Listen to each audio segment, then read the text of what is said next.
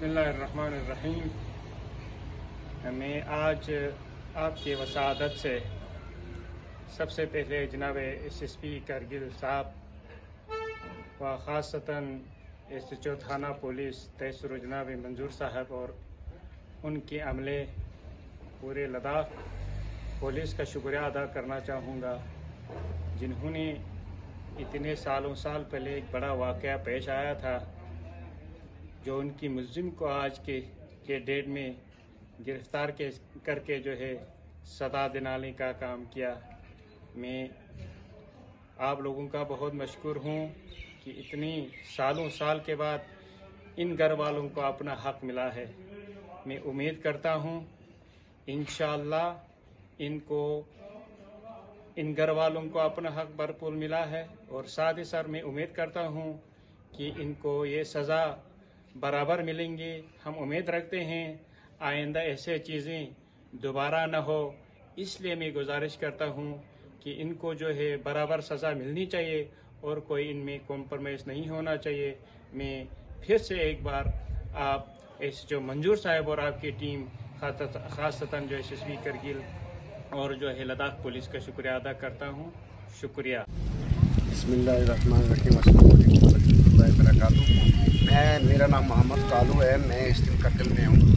तो एक ये ये एसएसपी करगल साहब, करगल, और सेकंड एसपी अब्दुल मजीद मजीद रहमान साहब इनका दिल की गहराइयों से मैं बहुत बहुत शुक्रिया अदा करता हूँ, जिन्होंने दो हज़ार उन्नीस सौ अठानवे का कत्ल और डेड बॉडियाँ उनकी भी वसूल कर ली और सब कुछ किया है। मैं अपने दिल की गहराइयों से इनका बहुत शुक्रिया अदा करता हूँ। और आज तक ऐसे अवसर मैंने कोई नहीं देखे। इतने साल के बाद, इतने अरसे के बाद, इतनी टाइम की मदत के बाद इन्होंने ये एक ऐसी पहाड़ियों के जाकर जहाँ पर सांस बंद हो जाती है, उन पर जाकर इन्होंने क्या किया कि जहाँ के वहाँ से डेड बॉडियाँ भी लाई और ये एसएसपी साहब और इनका मैं दिल की गहराइयों से एसपी साहब का दिल की गहराइयों से शुक्रिया अदा करता हूँ कि जिन्होंने इतनी मेहनत करके ये काम किया और इनको मैं अपनी तरफ़ से मुबारकबाद देता हूँ। दोनों को अपनी मुबारकबाद देता हूँ जिसमें हम नज़ीर और शेरू और वो दो करगल के जो आ, नाम तो मुझे भूल गए उनके तो लेकिन उनका उनकी डेड बॉडियाँ निकाल कर लाई है। मैं दिल की गहराइयों से शुक्रिया अदा करता हूँ और ये उनकी नज़ीर और शेरू की घर वाली है और उसका चाचा है। और उसका शेरू का साला है ये।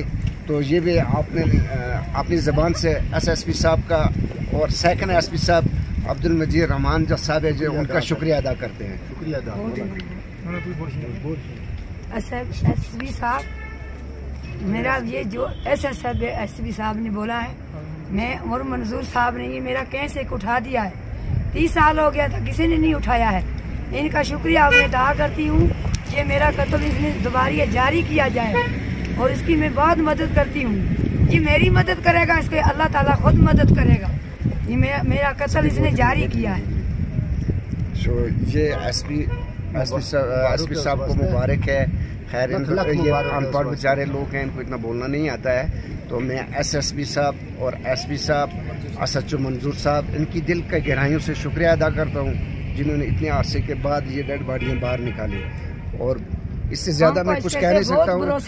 किस जबान से इनका शुक्रिया अदा करूँ?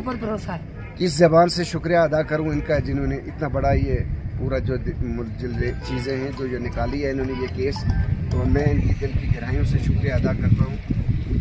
अल्लाह तबारक ताला इनकी उम्र दराज करे और तरक्की ज़्यादा से ज़्यादा था फरमाए। वाखिर अलहमदिल्ला